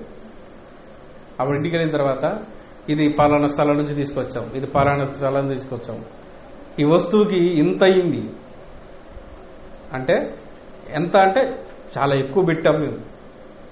మొత్తానికి ఇరవై లక్షలు పెట్టి ఇల్లు కట్టాం. అని ఏం చేస్తున్నారు? చాలా గొప్పగా చెప్పుకుంటున్నారు. ఎందుకంటే ఈ రాయి ఇక్కడి నుంచి తీసుకొచ్చాం ఇక్కడి నుంచి తీసుకొచ్చాం ఈ విధంగా చేసాం ఇంత ఖర్చు అయిందని చెప్పుకుంటున్నారు. అప్పుడు వెంటనే మనం అనాల్సిన మాట ఏంటంటే ఇరవై లక్షలు పెట్టావు కదా దేవునికి రెండు లక్షలు ఇవ్వండి అప్పుడేమంటే తెలుసా? ఇదంతా అప్పు తీసి చేసాం ఇదంతా ఏం చేసాం? ఈ ఇరవై లక్షలు ఎట్లా తెచ్చామంటే మా డబ్బులు కావు అప్పు చేసి అది చివరి మాట. ముందు మాట అది ఉండదు. ముందు మాట ఏంటిది? పలానా స్థలంలో ఈ దర్వాజకి ఇంత అయింది ఇది ఈ రాయికి ఇంత అయింది లేదంటే ఈ పుట్టికి ఇంత అయింది ఇంత పెట్టాం ఇంత పెట్టాం అని చెప్తున్నాడు మొత్తం ఇరవై లక్షలు అయింది సరిపోని ఇరవై లక్షలు అయింది రెండు లక్షలు దేవునికి అదంతా అప్పు. ఇప్పట్లో తీర్చడం కుదరదు దేవునికి ఇవ్వడం కుదరదు. అంటే ఎలా ఉందో చూడండి మనిషి యొక్క మనస్తత్వం. అప్పు చేయటానికి కూడా స్వప్రయోజనం కోసం వెనుకాడడు. దేవునికి ఇవ్వటానికి చేయటానికి ఇతరులకు పాలు ఇవ్వటానికి సత్క్రియ చేయడానికి మాత్రం మనస్సే రాదు మనకి. మనకు మనస్సే రాదన్నప్పుడు మనకు క్రీస్తు మనసు వస్తుందిగా? అవునా? కాబట్టి అలాంటి మనస్సు మనకుంది. క్రీస్తులో ఉన్నప్పటికీ అలాగే ఉంటే క్రీస్తులో ఏం చేయాలి? మనం రూపాంతరం చెందాలి. మనది ఎలాంటి మెడ అన్నాడంటే దేవుడు ఇనుప మెడ అన్నాడు వంగదు కాడికి లోపడని చెప్పాను కదా. అది ఇరవై గ్రంథాలు ఏమంటాడంటే మన మెడ ఎలాంటిదంటే ఇనుప నరం అన్నాడు. లోపల నరం ఉంది చేసి నరమే కదా ఉంచేది తలని? ఆ నరం ఎలాంటిదంటే ఇనుప నరవట. వంగదు. దేవుడి కంటే అసలే అవును అది దేవుడు చెప్తున్నట్టు మాట. దేవుడికి అని అంటే ఏమొస్తుందండి? మనుషులు ఇస్తే దేవుడికి ఇస్తే ఏమొస్తుంది? దేవుడి కోసం చేస్తే ఏమొస్తుంది? ఇతరులకి ఇస్తే ఏమొస్తుంది? ఎలా ఆలోచింపజేస్తుందో చూడండి. మన దేవునికి అనగానే విను అంతే చేయకు. ఎన్ని మాటలైన విను ఎన్ని గంటలైనా విను ఎన్ని వాక్యాలైనా విను కానీ ఏం చేయకు? ఏం చేయకు. అట్లా కూర్చో. రా వచ్చి కూర్చొని వెళ్ళు. అన్నట్టుగానే చెప్తుంటది మన బోధ. కాబట్టి స్వప్రయోజనపు లెక్కలలో నీకు మిగిలింది నష్టమా? లాభమా? నష్టం. ఇతరులకు పాలించుట విషయంలో లాభం ఉంది. అందుకోసమే ఏమన్నాడు సార్? ఇతరుల భారములు ఏం చేయాలన్నాడు? మోయమన్నాడు. ఒకరి భారములు ఒకరుడు మోయిస్తే మోయమని చెప్పాడు మనకి. ఆ గలితి ఆరో అధ్యాయంలో కనబడుతుంది. మొదటి వచ్చినారు కాబట్టి ఇది క్రీస్తు కలిగిన మనస్సు. అలా చూస్తూ అలాగే ఉండిపోయామనుకోండి ఏం లాభం? మనం నష్టాన్ని మిగుల్చుకున్నట్టు. క్రీస్తును సంపాదించుకుని నష్టపోతే ప్రయోజనం ఉంది క్రీస్తును సంపాదించుకున్నామని చెప్తున్నాం కానీ మిగిలింది నష్టం. ఎలా కలిగింది నష్టం? అంతే కదా క్రీస్తును సంపాదించుకున్నామని చెప్పుకున్నాం కానీ క్రీస్తుకు కలిగిన మనస్సును మనం సంపాదించలేకపోయాం. అందుకే మనకేం మిగిలింది? నష్టం మిగిలింది. మనకు మాత్రం మిగలకూడదు నష్టం. మనకు మిగలకూడదు కంటే ఒక్కొక్క మెట్టు మనం ఎక్కాలి. మనం వెనక్కి తిరిగి చూసినప్పుడు నేను ఒక మెట్టు ఎక్కానంటే మనకేం కనపడాలి? ఇతరులకు కలుగు ప్రయోజనం. నా వలన ఇతరులకు కలిగిన ప్రయోజనం ఏది? నా స్వప్రయోజనము దాటి ఇతరులకు కలిగిన ప్రయోజనం ఏది అనేది మనకు వెనక చూస్తే చెప్పగలిగే స్థితి మనకి ఉండగలగాలి. అవునా? అలా ఉన్నప్పుడు మనం ఏం చేయగలమంటే ఇంకా ఎదగలం. అది ఆనందాన్ని ఇస్తుంది మనకి. దేవుళ్ళు ఏం చేస్తుంది? ఆనందాన్ని ఇస్తుంది.